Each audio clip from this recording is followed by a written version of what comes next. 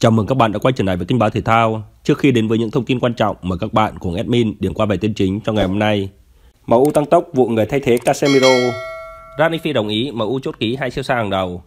Toàn bộ kế hoạch hồi sinh MU của Sir Jim Ratcliffe và còn rất nhiều thông tin khác. Sau đây chúng tôi mời các bạn cùng đón xem. MU tăng tốc vụ người thay thế Casemiro. Chứng kiến phong độ thất thường nơi Casemiro, Man United đang lên kế hoạch thay thế cựu sao Real Madrid, trong đó tiền vệ Amada Onana của Everton là một trong những mục tiêu hàng đầu được quỷ đỏ nhắm tới.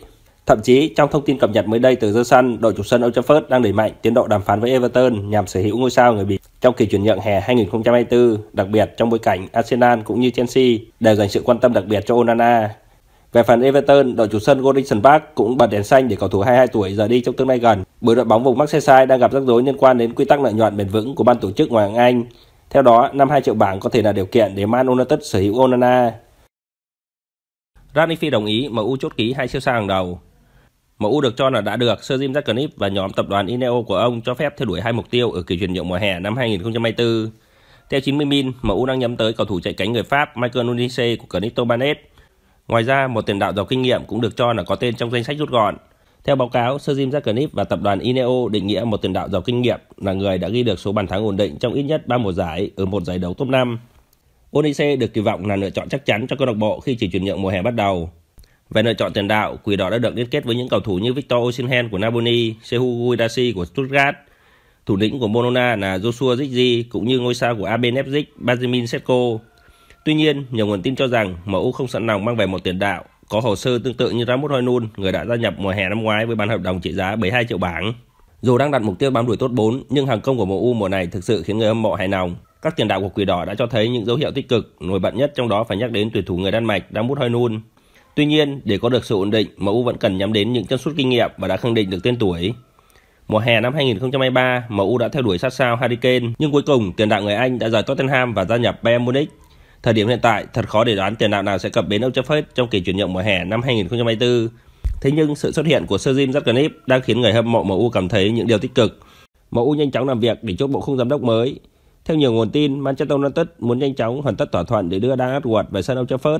Bên cạnh đó, tập đoàn Ineo cũng đã tiếp cận với cựu giám đốc bóng đá của Niver là Julian Watt. Kể từ khi Sir Jim Ratcliffe xuất hiện, sự xáo trộn lớn đã diễn ra ở ban giám đốc khi nhiều cái tên kỳ cựu phải chia tay đội bóng.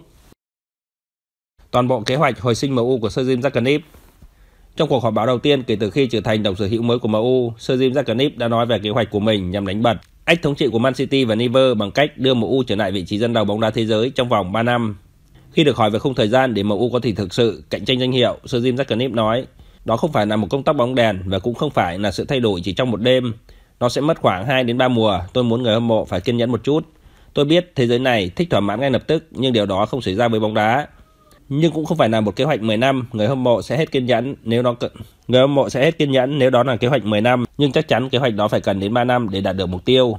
Sejim Takanip nói 11 năm qua là quãng thời gian vô cùng khốn khổ và thật khó chịu nếu bạn là fan của MU trong khoảng thời gian đó. Khi được hỏi liệu về việc nắm toàn quyền kiểm soát có phải mục đích cuối cùng của ông hay không, Sejim Takanip nói Vấn đề không phải là tôi sẽ làm gì trong 5 năm nữa, mục đích cuối cùng chỉ là để MU chơi thứ bóng đá thực sự tốt.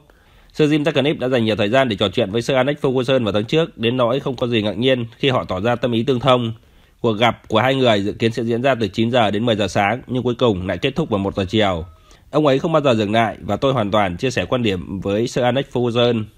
Ông ấy vẫn rất chu đáo với câu lạc bộ và có nhiều kinh nghiệm. Ferguson thực sự hiểu giá trị truyền thống của câu lạc bộ cũng như tất cả những gì về nó. Sir Jim Ratcliffe cũng nói rằng MU phải giống Ferguson trong việc khôi phục thành công câu lạc bộ, không có thứ hai này. Sir Jim Ratcliffe ra động thái cứng rắn với MU. Theo Daily Mirror, Sir Jim Ratcliffe đã đặt thách thức cho giám đốc điều hành mới Omar Pereira trong việc kiểm soát quỹ lương của MU. Các thống kê hàng năm gần đây cho thấy quỷ đỏ thành Manchester đang trả 330 triệu bảng cho việc trả tiền lương, đó là một con số khổng lồ. Và Sir Jim Ratcliffe rất muốn áp đặt giới hạn 300.000 bảng mỗi tuần cho bất kỳ bản hợp đồng nào. Điều này được thực hiện nhằm tránh việc trả lương quá cao cho những cầu thủ lớn không có nhiều đóng góp gì cho đội bóng. Bên cạnh đó sẽ khiến các cầu thủ khác tỏ ra không thắc mắc về cân bằng mức lương dựa trên đóng góp. Người hàng xóm Man City thậm chí có mức tổng lương lớn hơn khá nhiều so với MU. Hóa đơn tiền lương của Citizen đã vượt qua 400 triệu bảng. Tuy nhiên, thành công cú ăn ba của đội chủ sân ETH ở một giải trước cũng mang lại nhiều khoản tiền thưởng khổng lồ cho một số ngôi sao trụ cột. Giờ đây MU có kế hoạch thực hiện một chiến lược tương tự, mặc dù có thể sẽ phải mất nhiều năm để những thay đổi này có hiệu lực đầy đủ vì câu lạc bộ có nghĩa vụ phải tiếp tục trả lương những ngôi sao hiện tại. MU đang cố gắng tái cơ cấu đội ngũ giám đốc có liên quan chặt chẽ đến động thái bổ nhiệm Dan Edward, giám đốc thể thao của Newcastle. Họ cũng quan tâm đến việc thuê cựu giám đốc bóng đá của Niver, Runian Watt cũng như giám đốc bóng đá của Southampton, Jackson Wincott. Thống kê kinh hoàng của Radford Mạch trận thăng hoa của Man United đã chấm dứt trên sân nhà Old Trafford. Đoàn quân của Erik ten Hag nhận thất bại 1-2 trước Fulham. Harry Maguire là tác giả bàn thắng duy nhất của Quỷ Đỏ. Trong khi đó, Kevin Bassi và Iwebi lần lượt góp công cho Fulham. Hệ thống phòng ngự của Man United đã trải qua ngày thi đấu khá thất vọng khi tỏ ra lung túng trước các tình huống phản công nhanh của Fulham. Bên cạnh đó, các ngôi sao tấn công của Quỷ Đỏ đã thi đấu thất vọng không kém. Sự thiếu vắng của Ramos Hoynun đặt ra bài toán cho Man United. Marcus Rashford đã có màn trình diễn kém cỏi khi anh được Ten Hag bố trí đá chính ngay từ đầu. Những con số thống kê chứng minh phong độ ảm đạm của Rashford. Tiền đạo 26 tuổi có vòn vẹn 27 lần chạm bóng xuyên suốt 90 phút thi đấu, thực hiện 13 đường truyền để mất bóng 9 lần. Rashford cũng nhận nhòa ở khía cạnh hỗ trợ phòng ngự. Nhiều cổ động viên đặt câu hỏi về tham vọng, tinh thần thi đấu nơi Rashford. Ngôi sao người Anh từng nhận được rất nhiều kỳ vọng, thế nhưng lại trượt dài và sa sút trong mùa này. Báo động đỏ cho Bruno Fernandes Ngôi sao người Bồ Đào Nha là cầu thủ sáng tạo nhất trong đội hình quỷ đỏ trong một thời gian. Tuy nhiên, cựu sao Sporting Lisbon đã phải vật lộn để tìm ra sự ổn định trong mùa giải này. Tiền vệ 29 tuổi chỉ có 3 bàn thắng và 5 đường kiến tạo sau 2 năm dần ra sân ở giải vô địch quốc gia. Anh tiếp tục trải qua một trận đấu không tốt khác trước Fulham ở vòng 26 ngoại hạng Anh. Bruno Fernandes đã thắng 8 phát tranh chấp tay đôi và thực hiện thành công 4 pha tắc bóng tại Old Trafford. Dù vậy, anh cũng để mất bóng tới 28 lần và không thực hiện thành công quả tạt chính xác nào. Anh chỉ thành công hai pha phất bóng dài trong số 8 lần thực hiện. Cú sút vào khung thành của Bruno Fernandes giúp Harry Maguire có ghi bàn thắng sau pha phản công, nhưng đó có thể coi là đóng góp duy nhất của anh trong trận. Ngôi sao được định giá 70 triệu euro đã tạo dựng được danh tiếng lớn, trở thành một cầu thủ sáng tạo bậc nhất trong thời gian gắn bó với MU.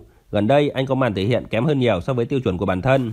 Chính vì thế, Bruno Fernandes cần phải nỗ lực hơn nữa và phải đóng góp bàn thắng thường xuyên hơn để giúp đội chủ sân Old Trafford nuôi hy vọng giành tấm vé dự C1 trong những tháng tới.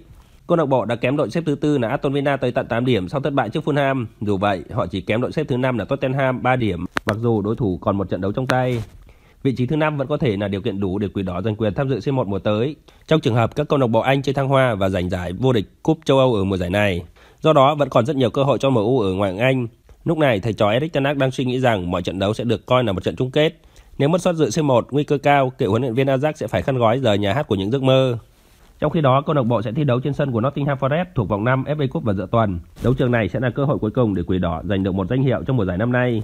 Bruno Fernandes và những tiền đạo còn lại cần phải nhanh chóng lấy lại phong độ tốt nhất để tạo bước đệm, trở lại mạnh mẽ hơn trong phần còn lại của mùa giải. MU đang gặp nguy và đây là lúc Bruno Fernandes phải chứng tỏ vai trò thủ lĩnh. Có thể thấy thành bại của MU sẽ phụ thuộc không ít vào tài năng của Bruno Fernandes. Nếu anh tiếp tục có màn thể hiện kém cỏi như trước Fulham, Quỷ Đỏ thành Manchester có thể trải qua một mùa giải thảm bại toàn diện.